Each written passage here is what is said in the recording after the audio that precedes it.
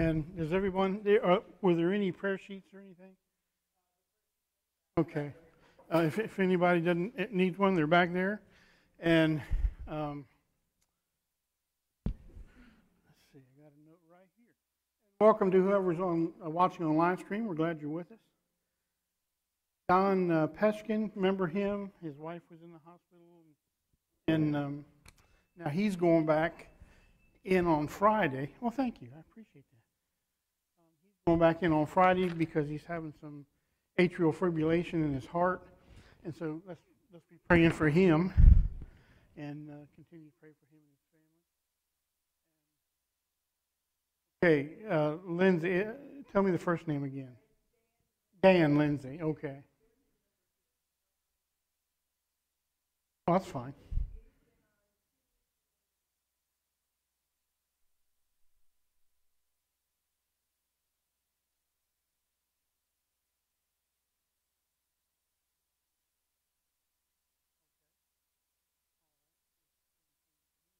Any other prayer requests that we need to address other than what's on our?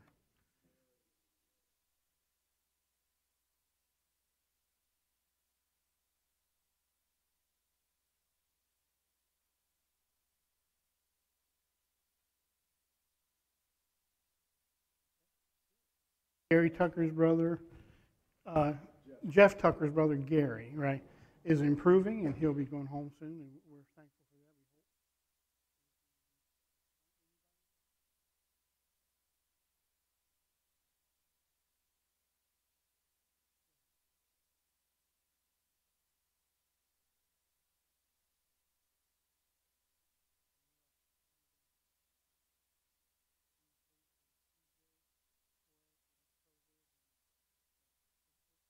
that.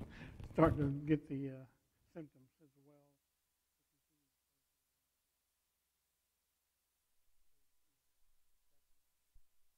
Jessica surgery went well. She's at home.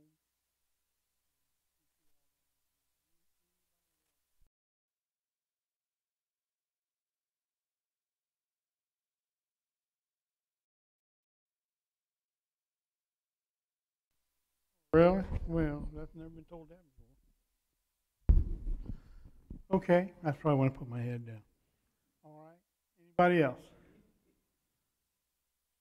All right. Well, let's go to the Lord in prayer and ask His blessing upon these requests and upon our time tonight together. Father in heaven, we love you and thank you and give you praise for who you are.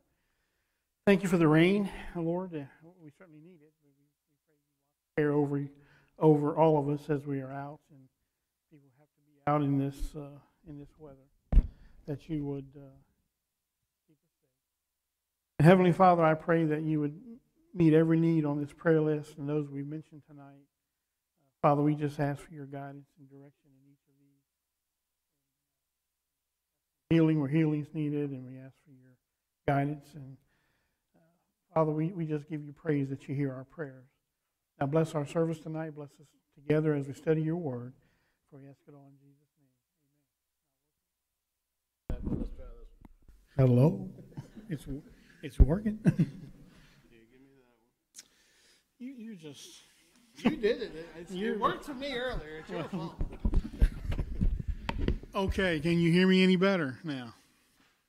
I thought you could hear me before, but uh, all right. We're in um, we're in Habakkuk. We're going to go into the final chapter, and we're probably going to do this in two two uh, times together because um, uh, I'll be here again the, in about two weeks to fill in for the pastor, and so I'm, I'm going to break this down and kind of make it into two sessions. But as we kind of kind of recall about Habakkuk, and when we started several weeks ago, a couple months ago, when I started filling in, Habakkuk was was one of these prophets who God didn't send so much as he went on behalf of Israel to find out what was going on with um, the things that were going on in Israel and why God had taken action. It, it, it wasn't, he, he was perturbed with Israel. He was perturbed with what he saw. He was perturbed and, and upset with all the sin that was going on. And he finally went to God, uh, as we found out in chapter one. why are you allowing this to happen? And what are you going to do about it? Don't we feel like praying that sometimes, uh, even here, and uh, uh, not only in our country, but as as I go around and uh, I've preached in a lot of churches, been a lot of places, and there's many times I'd come home and say, Lord, uh, why are you allowing that to go on? The things that, that I see and some of the stuff you hear uh, in our day and time. And so that's what Habakkuk did. He wanted to know why Israel had gone so far, why the sin had gotten to such a level that um, he really felt like God needed to do something, and God, in his mind, wasn't, and he wanted to find out what and why. And so, as we as we realize, God came, gave an answer back to Habakkuk and said, "Yeah, um, I know what's going on, and judgment's going to come." And he gave him a little insight as to what that judgment was going to be. He said, There's a group out here, and, and, I want you to pay attention to this because sometimes we don't really feel like God does anything with the nations of the world. The Bible says he knows every act that's, that's ever taken from anybody, any nation, any, any person. He knows what's going on. And here in Habakkuk, we realize that God not only knows what's going on, he will deal with nations that aren't Israel and that aren't quote unquote his people but he will deal with what the nations do and what they have done and what they are doing. And as we'll find out later on in, in this chapter, uh, God doesn't change. And so, uh, and that's, that's an important statement that, that there's no variation of turning with God. When he, when he has declared something, it's going to happen. Whether it's back in Habakkuk's day or if it's in our day. If he declares something is, is sinful and wrong and, and we're involved in it, or if we're den- denying Him or just rejecting Him or ignoring God, uh, there's a penalty to pay for that. And I think we're paying some of that today. I think America is paying some, some penalties about some things, but we can get into that at another time. But uh, so in, in chapter one, uh, God gives them a little insight about the, this bunch called the Chaldeans.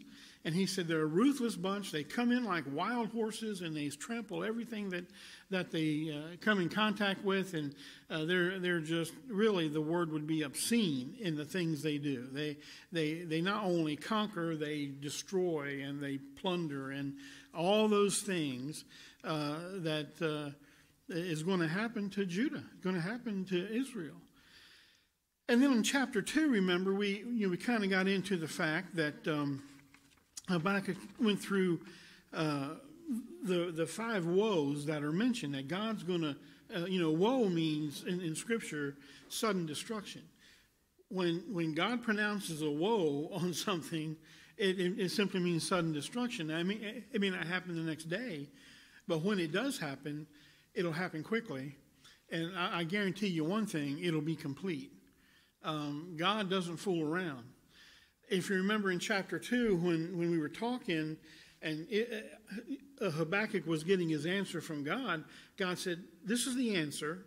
And around chapter, around verse 2 or 3 or somewhere right around there, he said, This is the message, and I want you to make it plain.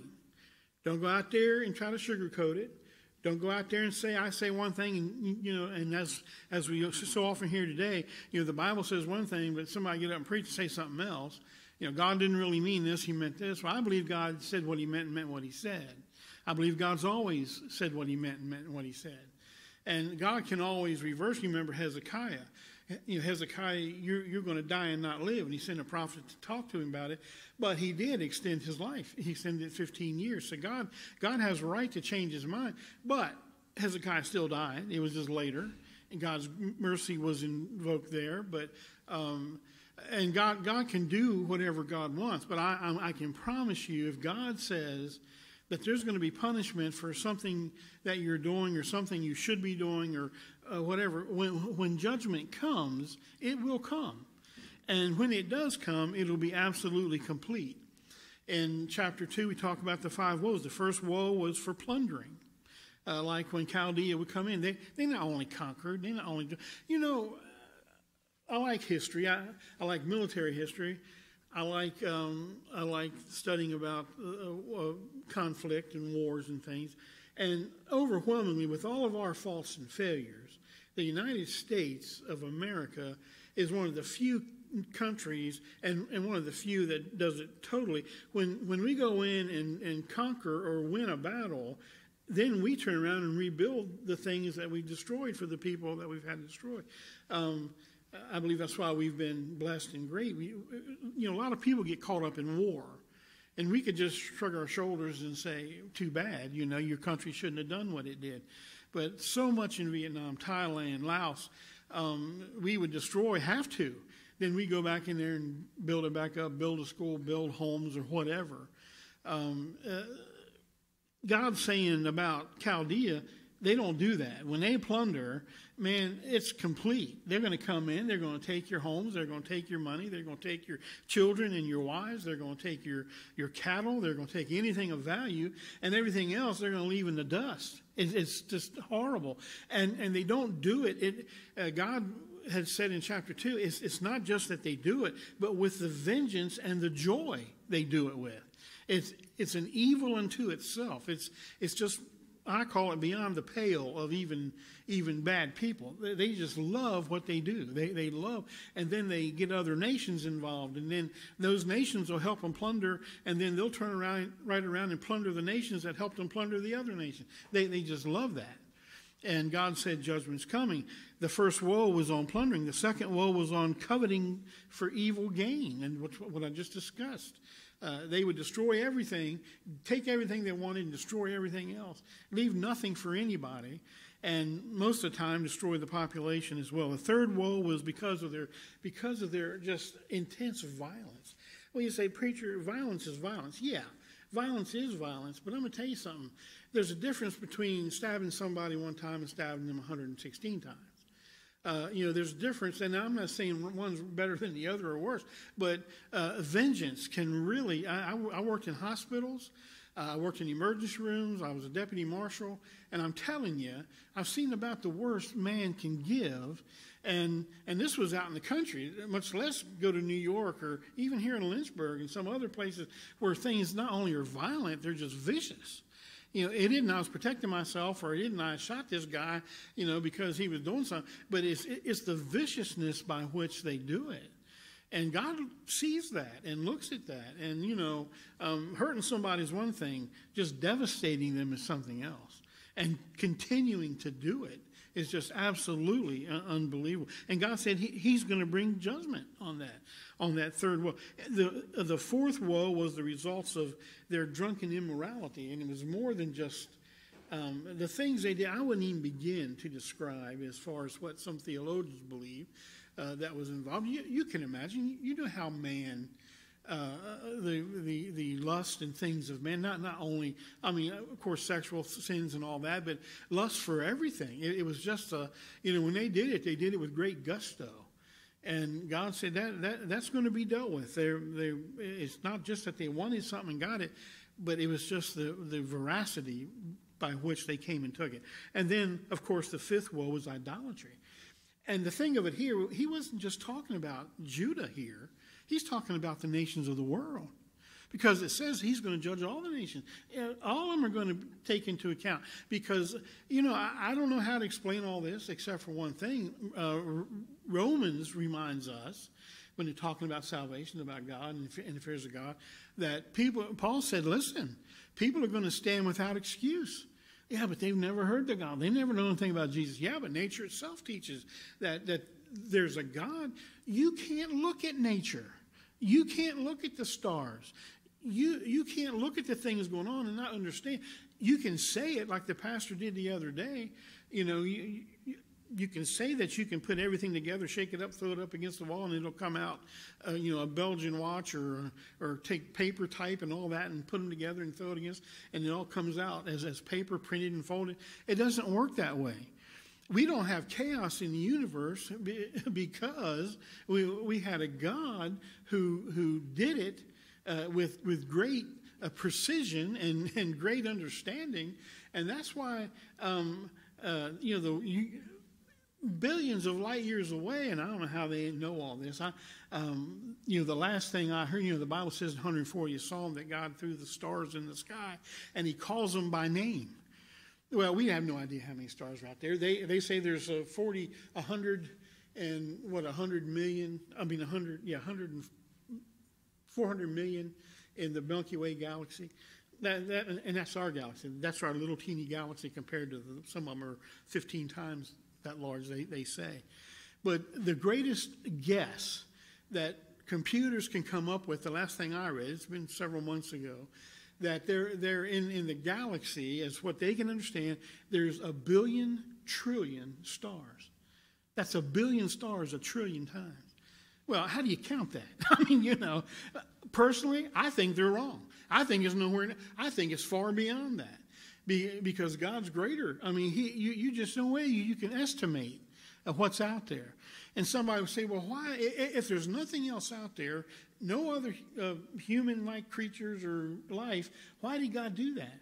Well, uh, first of all, because He's God. he can. He does. He, he can do big things. But I believe, and this is just a personal opinion, I believe it's just because, you know, they even say the universe is still growing, and, and they can tell from from years ago taking re- readings over here and over, and, and then it's beyond that now. And they're wondering why. Well, you know why I believe? I, I just don't believe this universe can hold His glory. I think it just has to keep expanding because God's glory is so great. His power is so magnificent. And that's not the message for tonight. But, but anyway, uh, all these things are coming about because God said He was going to judge nations. He, he was going to judge this. He's going to judge every nation for what they've done. And yeah, he said, well, you know, what's that got to do with salvation? Well, not nothing except for the fact that God created this world to worship and praise Him, and they've turned their back, and there's no, and they're not going to be able to stand with Him. Eh, you know, in they they certainly couldn't back then, and, and they're not going to be able to in the in the days to come and say, Well, Lord, we never knew you. We didn't know who you were. We, we, we worship this God or we worship this God. Well, that's going to be one of the woes, the, the idolatries. You would rather listen to a wooden object like this stand right here. We can make it a God and bow down to it. Uh, but does it talk to you? Does it give you instruction? Does it help you? No. Isn't it silly for man to do that? Of course it is. But we have we have placated ourselves into the fact that this is what we need to do because we need some guidance, but we'll just get it from a wooden stool instead of the living God. And we just and so God said that's what they're going to be judged for. Okay, with all that said, we come to chapter three, which is the prayer of Habakkuk. And starting with verse, and I don't know how far I'll get here. So whatever we don't get, we'll get the next time around. And I, I, apologize for not having the little sheets. I, I forgot. forgot to, so I'll give them to you next time. You can fill in and and, uh, and uh, keep everything up to date. But here, here's the prophet's prayer, beginning in, verse chapter three and verse one. A prayer of Habakkuk, the prophet on Shigionoth. Um, now, let's get that out of the way right now. There's a lot of people don't. Most Bibles will say on the bottom or, or in your concordance, we don't know what that means. And some of them don't. Some theologians believe, though, it has to do with a musical note, um, because this verse, this this prayer here, is written almost like a musical uh, prelude or inter- interlude or prayer, whatever it is. Say, well, why would they do that? Well, be, because music often makes you stop and think, and music often, and you'll see the word Selah in here two or three times and that's because it's a musical pause. But that's not a musical pause just to stop the music. It's a musical pause that indicates stop and think of what you just said. You know, stop and think. It's good. You know, the Bible says that Mary, when she heard about Jesus and learned, of course, she, she knew who her son was, but as, as he grew and she saw things, what's the Bible say? And Mary pondered these things in her heart. It was a Selah. It, it, it was a stop and think about what she had just observed. And there was a lot to observe, wasn't there, with Mary? I mean, my goodness, can you imagine? Well, we need to stop and observe and think about what the Bible says. It doesn't hurt us as we read the Psalms and the Proverbs or wherever God, I mean, you may take you. Stop as, as you're reading something and a thought hits you, stop and think about it. Just stop and let it that, you know, I hate to use the term like it's, it's like a cow chewing its cud. Well, that to me, I've watched cows chew the cud. That's not fun to watch. But what it does, you bring it up and think about it again. You know, uh, so chew over it if that, if that helps you. Chew on it a little bit. Um, think about it because first of all, you'll remember it, and second of all, it'll be health to your bones. It'll be health because you're thinking on the very word of the living God. And uh, we need to we need to think about these things. We, we, need to keep our minds on these things. And so Shigionoth is probably something. Uh, you know, I, I, think maybe Habakkuk here, even though he knew what was coming, he was a little bit excited that God was going to do something. I don't think he was real excited about what he had heard, but he, he knew God was going to do something. Um, look at um, look at verse two. Oh, he says, "Oh Lord, I have heard your speech. I heard what you said." Back in chapter 2. I've heard your speech and was afraid. O Lord, revive your work in the midst of the years. In the midst of the years, make it known. In wrath, remember mercy. Now, that's an important statement because Habakkuk begins his prayer. He acknowledged what God had said. Hearing what God had said made him a little afraid.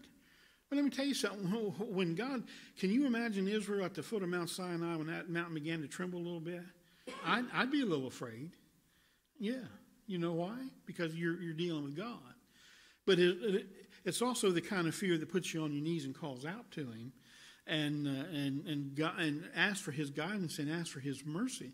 I think sometimes we've gotten over the fear, don't don't you? Sometimes I think I think the church and people have well, we're, safe in God. No, we're we're supposed to fear Him for who He is, because He's God.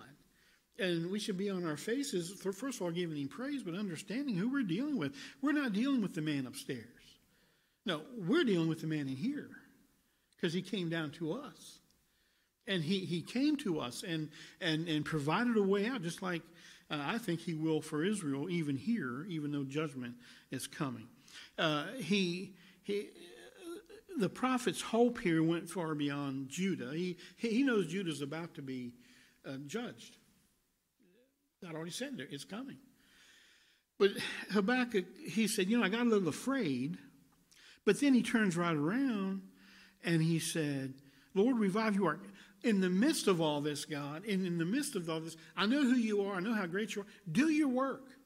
Because Habakkuk knew in the long run, God doing his work would mean more than if he did nothing at all or just let him have a pass um, God said, "Do." Uh, Habakkuk said, "Do your work. Uh, let, let it do." But as he said, in the midst of the years, make it known. But in wrath, remember mercy.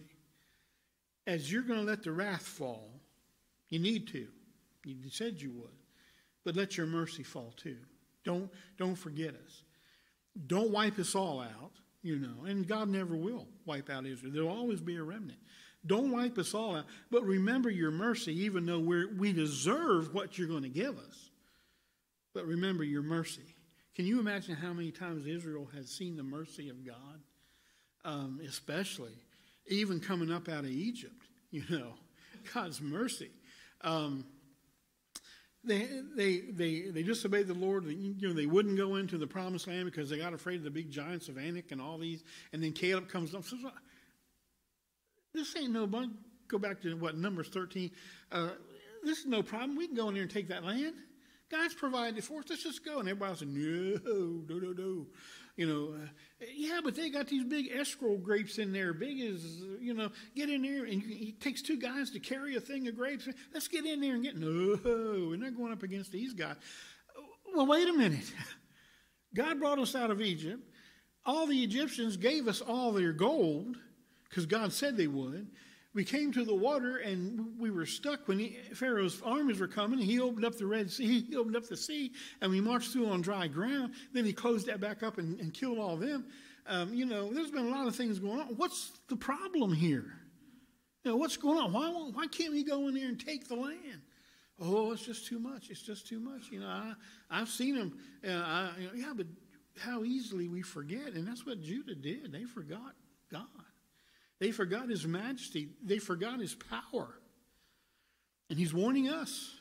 Let me tell you something. If there's ever a woe pronounced on you, hit, hit, hit your knees. you know, because God, God is true to his word. God is true. Um, uh, when he says something's going to happen, it's going to happen. So he he uh, he pleads for God as as as he as he brings his wrath to please Lord remember your mercy. And he, he will. in years to come. Uh, Israel will still be around. They're not going to be totally annihilated. Um, but you, but you do remember when they were in the wilderness 40 years, the, that generation, not one who, who said no about going into the promised land ever went into the promised land. Not one. And uh, remember what?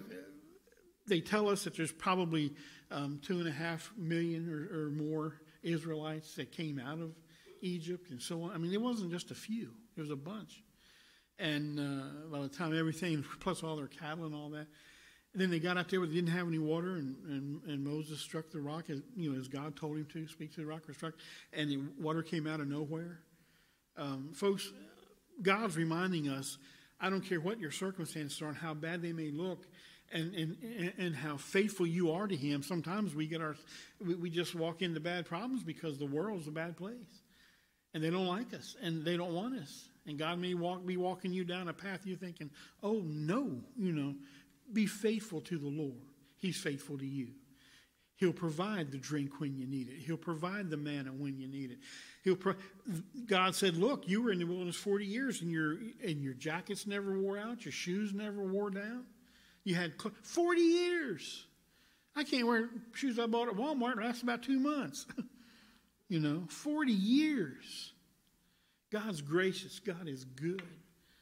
And especially when we think there's no help coming, help's always there. How do you know? I'll never leave thee nor forsake thee. Isn't that wonderful? We serve a wonderful God. All right, anyway, look at verse 3. He says, God came from Teman, the Holy One from the Mount uh, Paran. His glory covered the heavens, and the earth was full of his praise. Now, I heard somebody say one time many years ago, I don't know who he was, said Teman, you know, God, God came from the hills of Teman because Teman meant nowhere, so God came from the hills of nowhere, for there was nowhere for God to come from. Well, theologically, that's probably true because um, God has always been. There's nowhere to come from, He just is. But it, it wasn't. It wasn't the hills of Teman. it was Teman's a real place down next to Edom, south of Edom, and so on and so forth. And he he talks about. Um, that uh, opposite Teman was Paran, and most theologians believe that the prophet was thinking how God helped Israel exit from Egypt and that he, he would come and help help Judah now. Well, he's going to help Judah, but he's, he still has to bring judgment because he, he's already declared he's already declared it, and he's going to bring judgment, and he's going, it's going to be horrible because that's that's how far sin had taken uh, Judah. And you know, as preacher, I remember preaching years ago and hearing these old time preachers. You know, they, they they would always get up and say, uh, "You know, so I'm going to tell you right now, sin will take you farther than you ever wanted to go, and it will, no matter how far you think you've gone, and and, and how much you think you've gotten away with it. You ain't gotten away with it. Sin, sin will take you to places you never dreamed you'd ever wind up. Even if it's no, even if it's in your mind or in your heart, and you just can't sleep nights, and all that stuff." You know, sin, sin will take you there, and God will judge you. But then His mercy. Thank God for thank God in our case we have the cross and we have the Holy Spirit and so on. Okay, look look at verse. Um, Oh, and, then, it says Selah. So that, there's that Selah again in verse 3 at, at the end of this verse.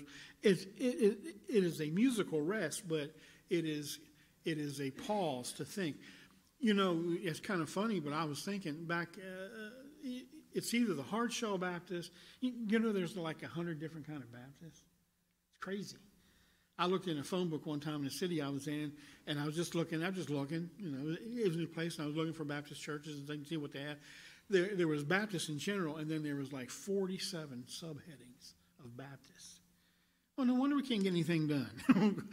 we don't even know what we are among ourselves you know, Southern Baptist, American Baptist, Northern Baptist, Hard Shell Baptist, Primitive Baptist, um, uh, um, National Baptist. Oh, you you name it. There was something in there about a Baptist. Four Four Square Baptist was, you know, you a little more on the Pentecostal side of things, but uh, uh, there, there's just there's just all kind of of uh, of bad. But there, here he's he's uh, taken a he's taken a musical rest, and he's taken uh, thought to think about. Um, uh, what you're, what he's saying, what he's preaching about, what, what he's singing, and, and, it could he could have been singing. Oh, what, what I was saying was, uh, some of these old time Baptists used to sing their messages. You, you ever know that? I was in church one time when they did. They get up and sing. It's pretty neat. I'm going to try that. try, don't try. Of course, you might be throwing song books at me by the time it's done.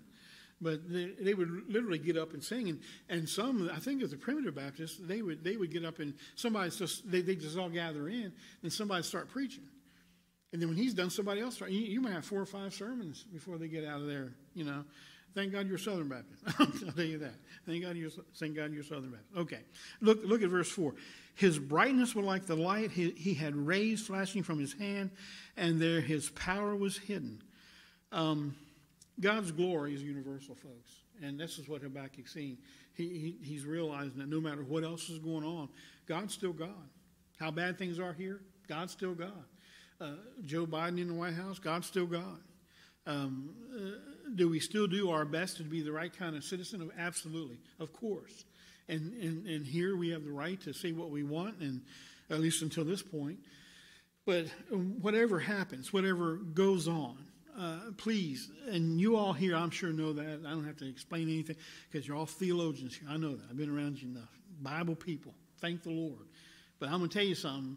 As bad as it seems, and it is bad in some areas, God's still God. And we're still here, and we still have a job to do, and we need to do it for Him. And that's, that's exactly what uh, um, I think Judah forgot. Circumstances look bad, people have been in bondage, blah, blah, blah. We're just going to do what we want. No. Uh, you, you, you, you are going to have to deal with God at some point. You, you better be the right dealing at the right time, or you'll deal with Him when, when you don't absolutely don't want to. Um, the, you know, the prophet said he looked up at the sun and saw the, uh, you know, the, the, those rays coming out, and just I, I, can just imagine him seeing the very arms and the power of God. And every time we look up to the sun and stars and all that, we need to understand the glory and power of God, and get on our face for Him and thank Him for it, and and praise Him for who He is. All right, look at verses uh, five and six. Before Him went pestilence. And fever allowed at his, uh, uh followed at his feet. He stood and measured the earth and looked startled at the nations and the everlasting mountains were scattered, and the perpetual hills bowed.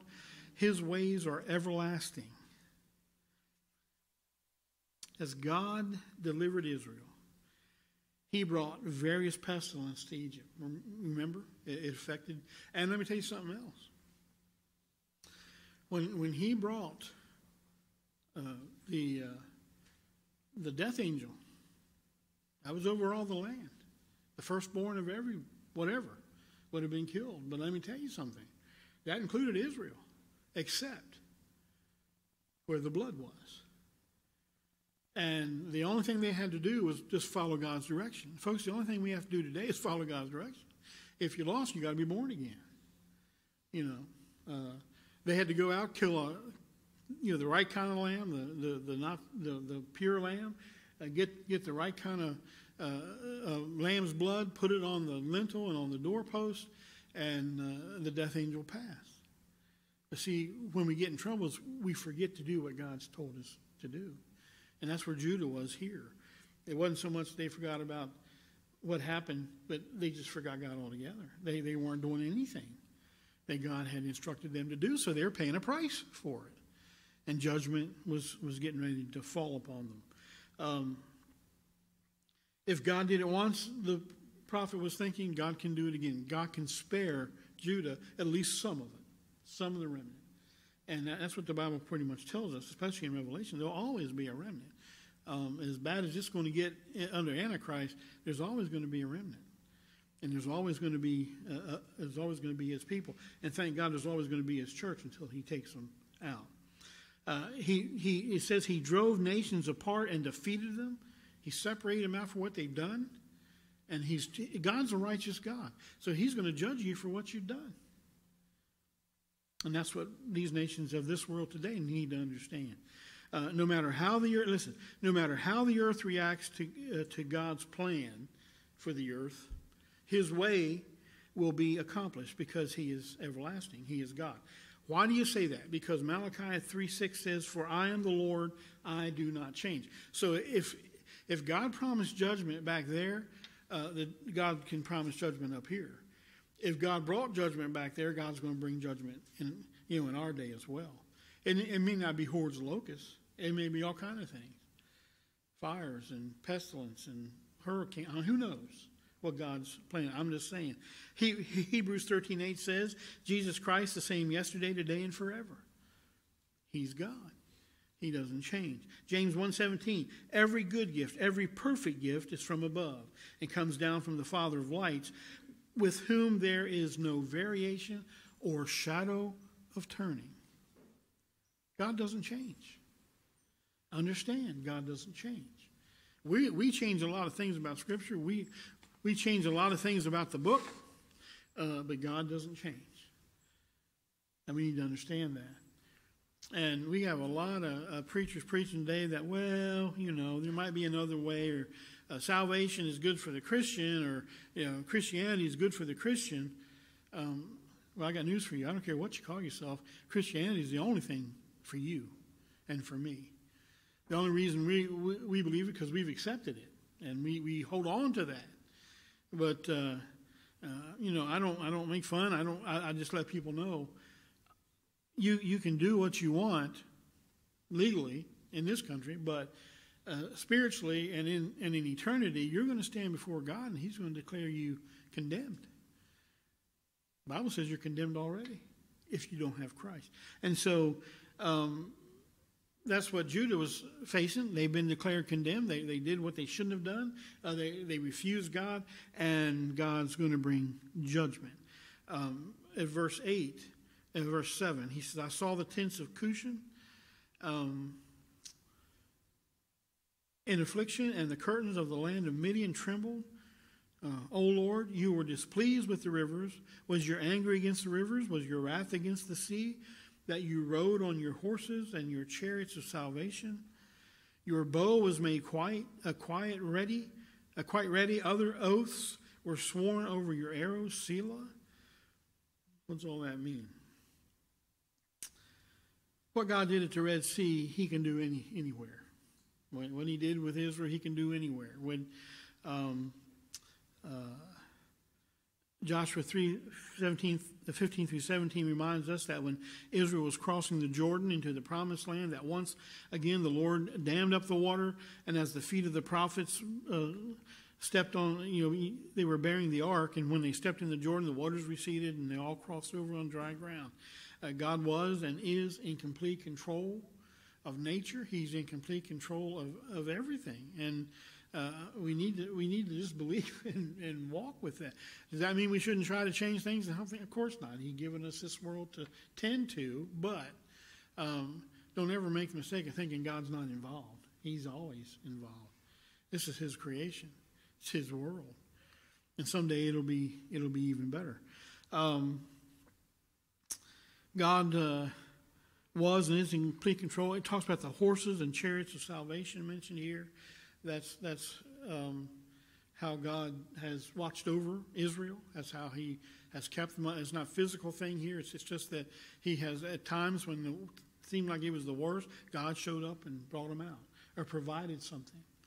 Um, I think, like I said, I think about the quail. they they were out in the middle of the you know the, walking four years and, and you know they started getting hungry. We want some meat along with this manna. He bring them a bunch of quail and they had meat. And then they murmured about that. And, uh, you know, the manna was uh, like coriander seed, they said. And in fact, they say it's still around today in Italy. You can still find what the scripture declares. Uh, I don't know that I've never had, quote, manna, but it was something sustaining, and it was something that all they had to do was go pick it up. You know, all they had to do was go out and get it. And uh, so God provided, and, and God's going to provide again. God's going, but the the point to all this is, yeah, um, God, God comes along and he and Habakkuk is hoping that with the judgment that's coming, that mercy again, mercy would, would also be intermingled there. Uh, he he knows they're going to take a hit. It's going to be horrible, but he also knows that God's not going to leave his people absolutely desolate, and he's praying for that, and he's praying for. Um, and again, he stops and pauses to think about the power of God and, and, and the you know, the same power that caused the waters to part, and in some cases the waters to gush forth is still the same God that, that he's praying to and calling upon.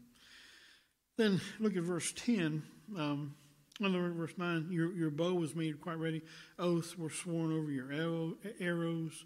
Um, uh, someone said like this God's power is open and can be seen by everyone.